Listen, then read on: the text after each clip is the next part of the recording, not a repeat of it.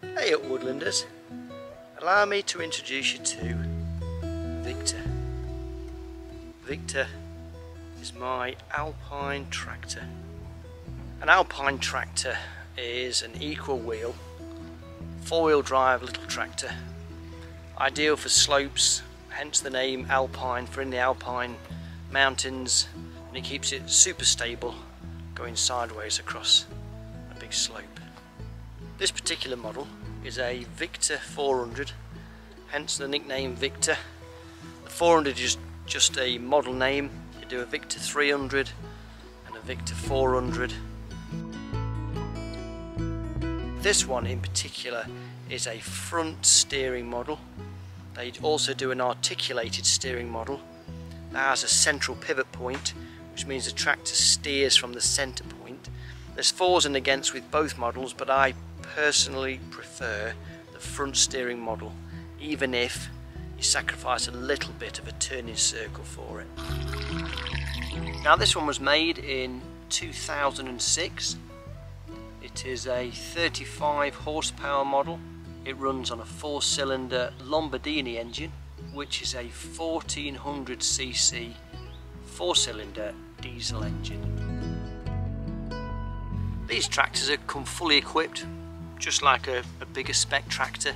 This one is made by BCS, they also do them out of the Pasquali and the Ferrari factory. All three models are pretty much the same, sometimes they change a few tweaks and lights and things like that, but basically the whole tractor unit is the same throughout those three different manufacturers. I'll introduce you first to the rear end with its three point linkage and PTO output. A PTO is a power takeoff. You'll see that just there somewhere. It's got a cover on at the moment. It's a 540 PTO shaft on this one and it also has a ground speed which means that if you're operating a machine that or perhaps a trailer that relies on but the rear wheels being driven at the same speed as the tractor then you put it in ground speed and your trailer will travel at the same speed as your tractor. In fact, it almost makes it like a six or eight wheel drive. I've never seen an implement that actually runs off ground speed yet. This is the PTO lever, so down on this one is the 540, centre is neutral, no PTO at all, and up is ground speed PTO. And it's a standard spline PTO shaft. The three point linkage on this one, which is one, two, three points. You have a top link that comes out here which you attach different machinery to it, mowers and chippers, log splitters, those sort of things. I had this one modified to include these quick attach hitches. These are category one quick attach balls as a ball goes inside there and it just makes attaching implements that little bit quicker.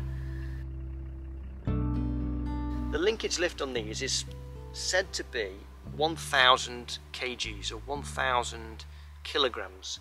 If you've got a thousand kilogram bearing down from vertical bearing down straight onto the linkage, that's what it'll lift. However, most implements have their weight way beyond that, so of course it increases its pivot point and occasionally I can get the front wheels off the ground with a little bit too much weight on the back. So I've got some front weights which do just help keep the front end where it's meant to be, touching the ground. Standard spec on this one has got uh, spool valves, so you've got a double acting spool valve, that's those two things there. It can power like um, something that's got to push both ways, so backwards and forwards type ram. That's a double acting spool valve. There is actually a tow hitch that goes on here, so there's a, a special metal carriage fits into these pins here and that allows you to put a ball hitch on or a trailer hitch so you can tow a trailer. So I've got an A-frame that connects to the three-point linkage and that's got its own ball hitch on it.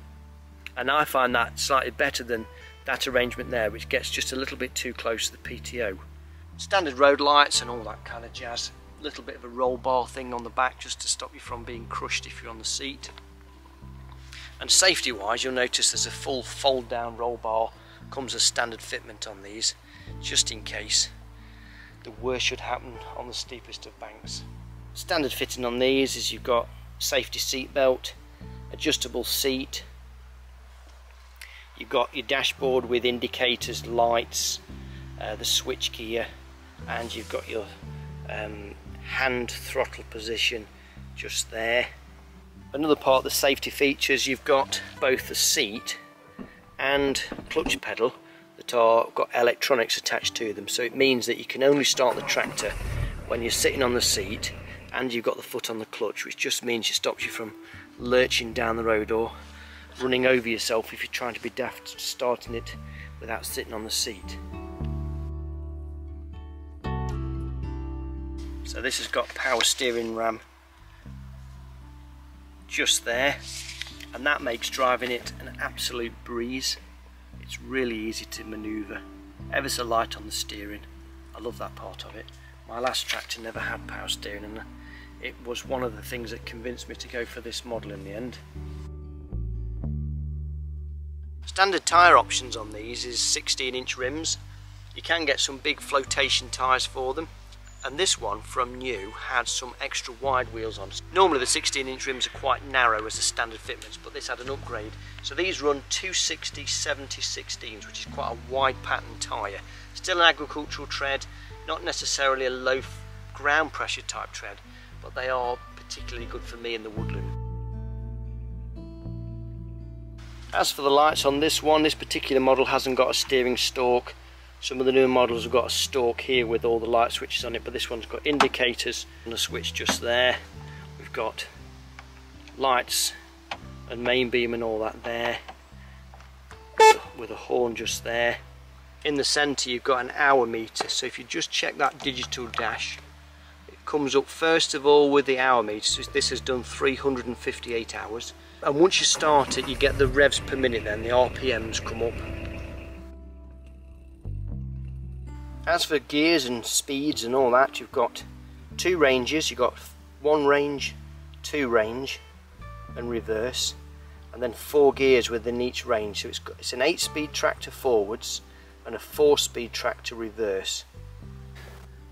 Just in case the worst should happen and you get stuck, you've also got a foot-operated rear diff lock and a hand-operated front diff lock these both disengage the minute you let them go, so they don't stay engaged, they're only engaged as long as you're holding the lever or pushing your foot on the pedal. That's the handbrake. We have the spool valves. So this one is the raise and lower of the arms. So that's lowering the arms, that's raising the arms. This is the double acting spool valve, so it pumps that way and also it pumps that way. This little control here is for the speed with which the arms raise and lower. So the more you screw it in, the slower it is. The more you spool it out, the faster the arms go up and down. Depends on what implement you've gone. If you're using ground ploughing implements, then you might want it to drop in to the soil at certain speeds. On the right hand side you've got the foot operated accelerator and then you've got the single brake pedal so this hasn't got twin brake pedals like a lot of the bigger tractors that allow for quick turning on headlands. This is just a single operated brake which works on the back wheels only. This is the diesel tank where you fill it up with diesel. And this is the little engine, the 1.4 cylinder Lombardini engine, liquid cooled. There's no turbo or anything like that on this really quite a straightforward little diesel engine quite popular. They tend to use these engines a lot in uh, mini diggers those sort of things fairly simple to maintain just regular oil changes. This tractor now is 17 years old as of today. It was imported in 2006 and in all honesty is quite an older model now. The new models are a little bit more digital and sophisticated but they do basically the same thing, similar sort of specification. They just look a little bit newer, got better bodywork, better lights, that sort of thing. Do I like this tractor? Yes, I absolutely love this tractor. In fact, ever since I've been in the woodland forestry style business, I've always been seeking a alpine style tractor because I just think they're really versatile little machines, especially for small scale forestry, which is what I do, and coppice work. In the early days I could never afford one and then gradually over the years I kept saving all my little pennies up. I managed to get an Antonio Carraro tractor which was a 60 horsepower turbo diesel Alpine tractor and honestly that was fantastic. I regret selling that every single week. It was a brilliant tractor and thankfully it's still alive somewhere down in uh, Devon, Dorset area. There's a guy down there who's still got that tractor and just it's in its semi-retirement stages now. My next tractor I bought was a little Gulliver which is a little 20 horsepower hydrostatic drive. Very micro little tractor and that was a really nice little tractor. The only downside to that, it didn't have power steering and I was always worried about the hydrostatic drive packing up. And that's why I went over to something a little bit more straightforward in its designs with simple transmissions, simple clutch and uh, hopefully it won't cost me a fortune when it goes wrong. I did buy this used about four years ago so it would have been about 12 years old when I bought it. It only done 200 hours. It worked out about 18 hours a year or something. It was only ever used for topping a field. If you've watched any other videos that I've done on YouTube, you'll notice the tractor makes an occasional appearance. I don't use it an awful lot, but I tend to use it for log splitting, for branch logging, and for timber extraction on my little log trailer. In all honesty, it possibly is a little bit overkill for what I've got. I really do love the tractor. I'd be loath to get rid of it. If I did, it would have to be something similar or slightly better. Is it perfect? No. Um, there's some little niggles on it that I don't like. I don't like where the handbrake is because I guarantee I catch my hand on it. Sometimes I find the ground clearance a little bit on the low side so that if you're going over stumps in a woodland, I've not really ground it out, but if the ground's soft, you can find that you get quite close to some of the stumps. And as I mentioned earlier, sometimes the linkage capacity lets it down, so it'll lift safely about 350 kilo on the back. So quite a heavy duty flail mower or my branch logger, it's really on its limit. And I find that in a woodland with that amount of weight on the back, you've only got to go up a bit of an incline and it starts to pick the front wheels off the ground. So I would say that for me is possibly its biggest limitation is its linkage capacity. While it'll lift it, no problem at all, it's the weight on the front of the tractor can't hold the front of the wheels down. Every now and again I'll get a little niggle where it won't start and the reason for that is there's a tiny little switch on the clutch so when you press the clutch pedal it tells it that you've got the pedal down and sometimes the connections on that uh, because the back of your foot catches it, they flick off. And now I know what that problem is. It's fine, but you come to start it and there's nothing. You think, what? What's wrong with this? And it's just the switch. You have to push the connections back onto that. Another thing that you have to be just a little bit mindful of is these foot plates. They're not that big, and although your feet don't tend to slip off them, what you can find is as you're getting on and off the tractor, sometimes you can get your foot caught I've got quite small feet, but if you've got big feet, just bear that in mind that when you get off, as you're stepping through the tractor, not to get your ankle caught and twisted on these foot plates. Sometimes when I'm going backwards and I've got to do some manoeuvres, I twist my foot like that, you can catch the back of your ankle on the tyre. Again, it might be due to the fact that I've got small feet and they tend to go forward and, and do that business. An interesting fact with some of these older models, I found this off the importers from Kilworth Machinery, is that the new machines actually use more diesel than these older machines. So that is one reason why I'm trying to keep this going as long as possible. I think the new models now of these are around about 17 to 18,000 pounds. I certainly didn't pay that. I think if I was going to be frank and honest with you, I paid 8,200 for this, that including the VAT. When it was new, I think they used to be about £12,000. I did have an early problem with uh, the tractor when I first got it, and because of its lack of use over the years, and there was an implement on the back that just stayed rigid on the back, never got took off or anything, I did have this top ball joint seized, which meant that it put a lot of strain on this thread here when I was trying to lift the branch logger what happened was then is that sheared off and it also had bent this because of the amount of force that had been put on it. So took it back to Kilworth. Kilworth straightened up this bottom arm. gave me a new one of these to put on and I unseized that ball joint there. It's still a little bit on the tight side. You just see that. But I do put oil on it now and again. Sorry about waving it around. And uh, that does seem to, it's, it's not a problem, but it's nowhere near as free and loose as that side. Look. With any machine, a common question is how much fuel does it use? So if I've got attached my little log splitter, I use it on just over tick over. I can use that all day for about eight hours on tick over with the log splitter and it'll use about a gallon of diesel somewhere around there. Sometimes a little bit less, sometimes a bit more, depending on how much work I give it. If I was to use my branch logger, which you'll see in other videos, that has to have an increased amount of revs and takes a little bit more torque to. That will tend to use just over a gallon of diesel in a day, maybe about one and a half gallons of diesel. But if you were to run something like a flail mower on one of these, which is quite a high power requirement, then you may end up using somewhere around about two to three gallon of diesel in, a, in an eight hour day. Would I buy Victor all over again? Yes, definitely.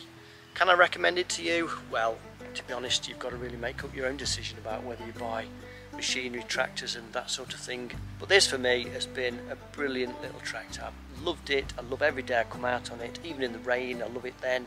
There's only one day I didn't like it and that's when it got stuck. and that was my fault, not the tractor's fault. I really hope that's been of some use to you if you like machinery and tractors like me. I do love a little tractor. If you're interested in this sort of machine, I recommend to contact Kilworth Machinery. They're the ones that import the BCS machines in blue they also import now the Pasquali machines, which are in yellow. Similar sort of machine, but if you prefer yellow than blue, then that's that. Kilworth Machinery are located in Smisby, near Ashby de in the Midlands of the UK. And they're a great little company to deal with, family run, and they've also got a whole rook of different implements that will fit one of these machines. They range from 26 horsepower, which is the very little baby one, similar size but with a smaller engine, right up to the 100 horsepower Alpine tractors that have got air conditioned cabs and real fancy bits of kit and you might need about £70,000 for one of those. Now there are bigger tractors that Kilworth sell that have got a reverse drive option and the whole seat steering wheel swivel round completely the opposite way so that you face backwards which means that if you've got a rear facing implement like a rear drive flail you drive into the crop as opposed to squashing it first. It's a really useful option. So all in, a cracking little machine. So I just want to say thanks ever so much for watching and if you're able to, enjoy your tractor days and if you've got a little tractor, why not let me know in the comments what sort of tractor you've got, how much you enjoy it and what machinery you run on the back. Thanks for watching and I'll see you on the next one. My next tractor was, what was it called? But I just want to say, I just want to say thanks. It worked out about 15 hours a week. Oh, hang it's not that. 10 years old. It, and that was a real treat.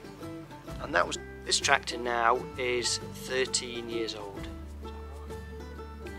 With its three-point linkage, with its three-point linkage